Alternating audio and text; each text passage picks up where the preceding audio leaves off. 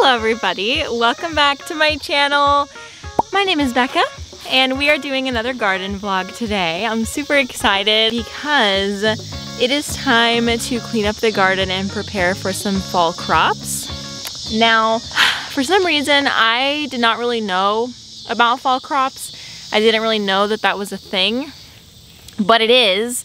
And I've got just a few in my little pack. I would like to do more, um, but I don't know, this is just what I have for now. I know that the fall season is good for like broccoli, lettucey type of things. I'm going to be doing some tunnels out here. So like doing some like DIY grow tunnels. Probably, well, I don't know what I'm gonna use yet. I still need to figure out what I'm gonna use to do that. But basically you can extend your fall crop season, like even after the frost, if you have something to cover your crops with.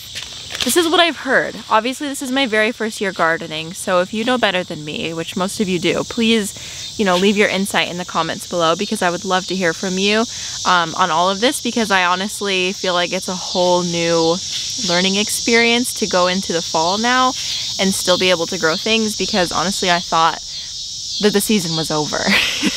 I'm going to be mostly cleaning up this box that you can see right here, which was like absolutely mangled by aphids.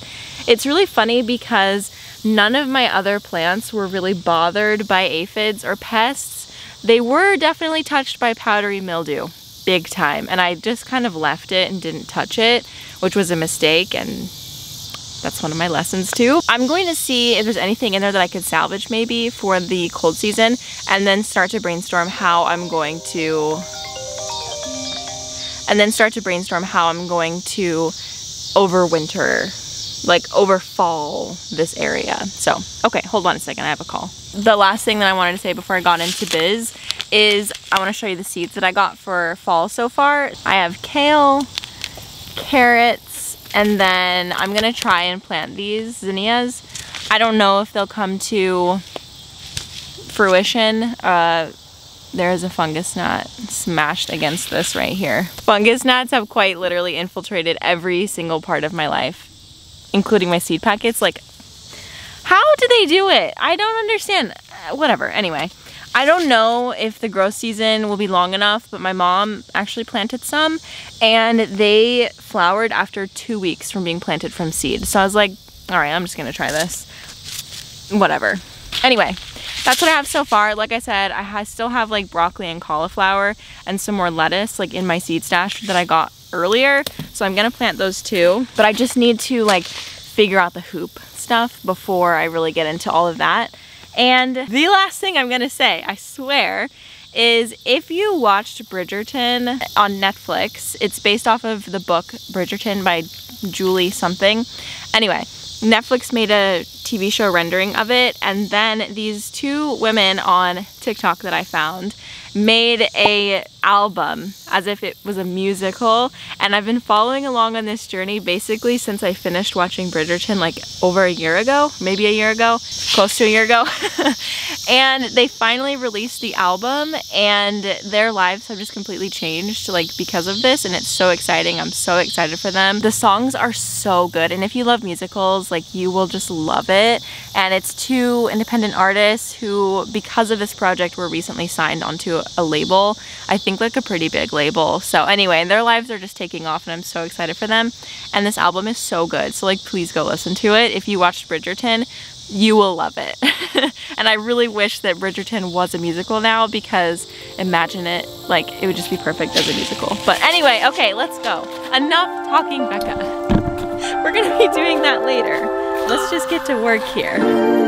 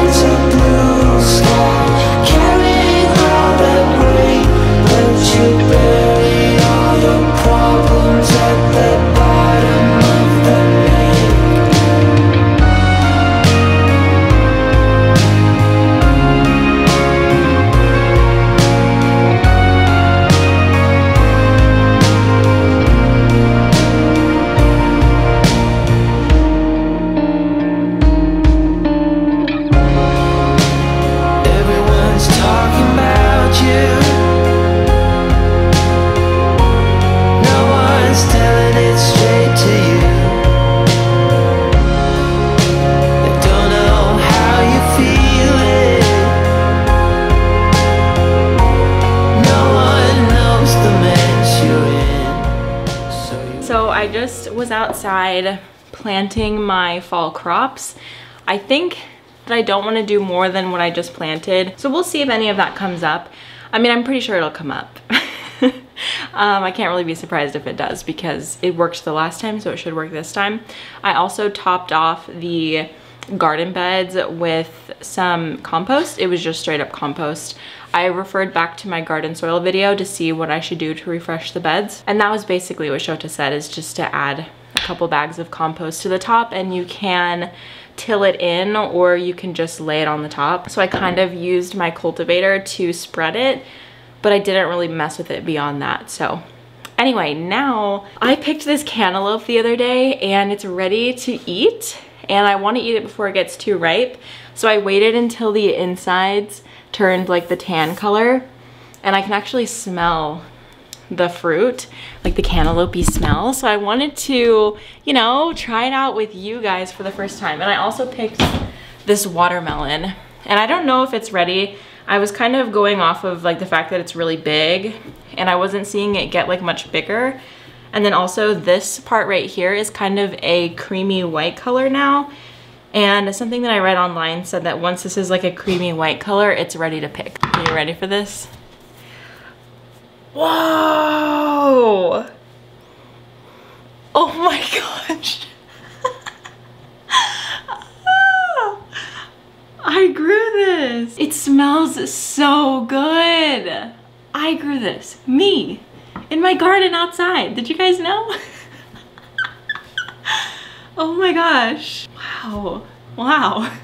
I'm literally shook right now. Like, oh my god. Wait, I just need to try like a small sliver because I want to hold up the watermelon and the cantaloupe together for the thumbnail.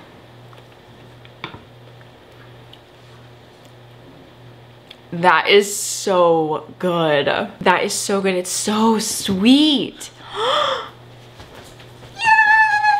Yay! the best news is I have like 10 more growing, which is like the best news. Oh my gosh. Okay, let's let's do the watermelon. This is the one that I'm a little bit more skeptical about. Oh my gosh, I can smell it. oh.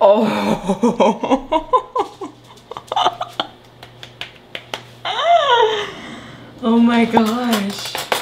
Yeah, Koopy, I'll give you some to try too. Oh no, I feel like it might not be ripe enough. Let's see.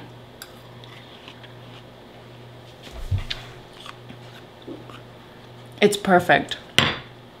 It's literally perfect. What? I grew this. I grew this and I grew this. I grew melons. I'm a melon girl now. My excitement right now is hard to describe, but I'm going to cut these up and eat them and enjoy the literal fruits of my labor.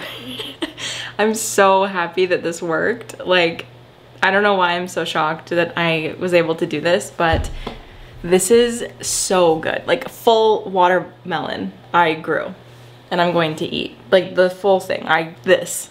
It started as a seed and then I grew it into a plant that grew into a fruit. Wow. Okay, um, I'm gonna let you guys go. Thank you very much for watching this week's video. I will be doing next week what I learned gardening this season. I was gonna put it in this video like I mentioned earlier, but it just, it's too much. I feel like it needs its own video, so anyway, thank you guys very much for watching. I will see you guys in the next one. Bye.